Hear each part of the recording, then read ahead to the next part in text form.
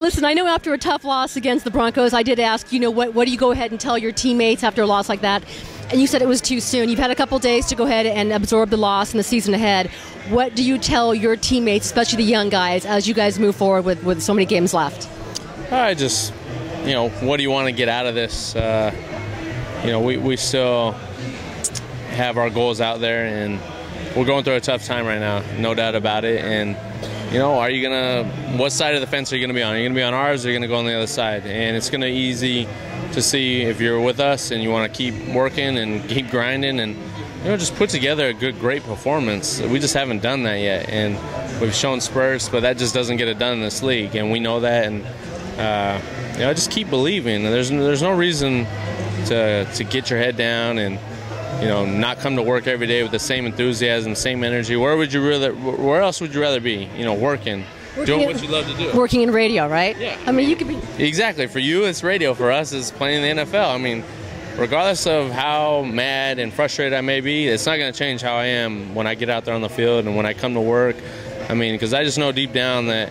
You know, I'm I'm blessed. I, I play this game to the fullest, and I give it all that I have, and I wouldn't want to be anywhere else in the world. So, to share that and to show guys that it's not all bad in the world. I mean, look at this. Look at all the people that are here giving blood and trying to save lives, and you know the, the kids that were there, you know, sharing their stories with us. Um, you know, when you think about the big things in life, it really shares perspective of, you know, it's not all that bad, and, and remember what you really have, and hopefully it could be a driving force to get us where we want to go. Well, here's some positive things. You guys talked about wanting to get better on third down defense, and, and yep.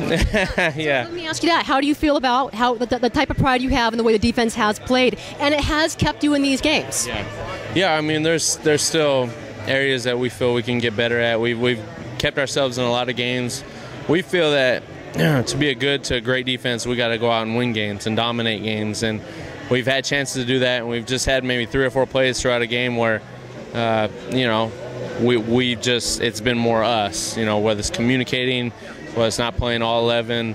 Uh, it's just been those few plays throughout a game that's really make hindering us being a great defense. But it, it's showing our belief that we're playing really well. We're playing together, and you know we're just trying to to go out and win games, and that's what we're trying to do for the team and give our offense more opportunities, get the ball back to them, and they'll get it going. And once that happens, we'll we'll be a force to reckon with. My last question: Does Norv Turner still have this locker room?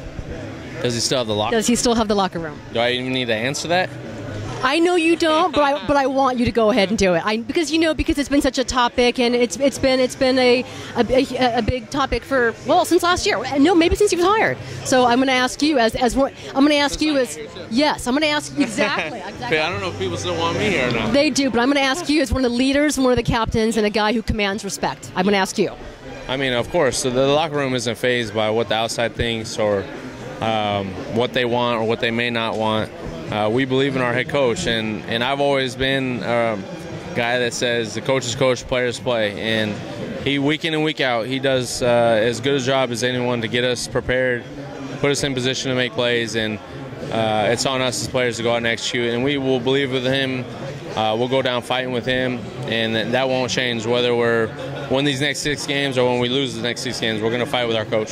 Thank you very much.